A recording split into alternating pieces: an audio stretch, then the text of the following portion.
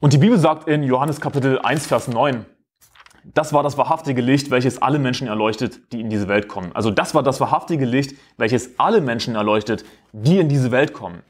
Die Bibel sagt uns, dass Jesus Christus, dass Gott alle Menschen erleuchtet, die in diese Welt kommen. Also dieser Vers ist idiotensicher. Jeder Mensch, der in diese Welt kommt, nur damit man wirklich versteht, dass es auch um wirklich jeden Menschen geht. Jeder Mensch hat irgendeinen Funken, der ihm von Gott gegeben wurde, irgendeinen kleinen Funken Licht.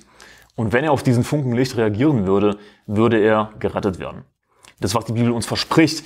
Und es gibt immer diese Leute, die fragen, ja, was ist denn mit dem Mann im Dschungel? Ja, mit dem Mann, der irgendwo in Afrika im Dschungel umherirrt. Wie soll denn der gerettet werden? Hm? Hast du da auch eine Antwort? Und ich habe eine Antwort darauf. Die Bibel verspricht uns, dass das wahrhaftige Licht, ja, Jesus Christus, jeden Menschen erleuchtet, der in diese Welt kommt. Dieser Mann im Dschungel hat ein Licht von Gott. Er hat eine Ahnung von Gott. Und ich glaube sowieso nicht, dass es Menschen gibt, die den Namen Jesus noch nie gehört haben. Die Bibel sagt uns eindeutig im Alten Testament wie im Neuen Testament, dass Gottes Wort bis an die Enden der Erde verkündigt wurde. Und nur um es wirklich idiotensicher zu machen, sagt die Bibel auch im Propheten Jesaja mehrmals, dass sogar die Inseln das Wort Gottes gehört haben. Also was ist mit den Inseln? Nur die Inseln haben auch das Wort Gottes gehört. Auch die abgelegenen Inseln.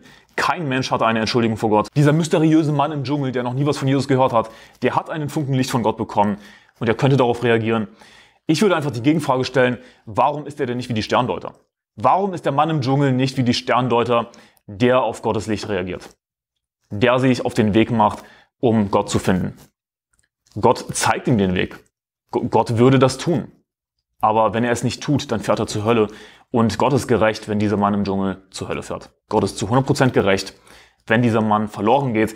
Denn er hätte sein können wie die Sterndeuter. Er hätte sich auf den Weg machen können. Er hätte auf das Licht reagieren können, das Gott ihm gegeben hat. Das, was uns die Bibel verspricht.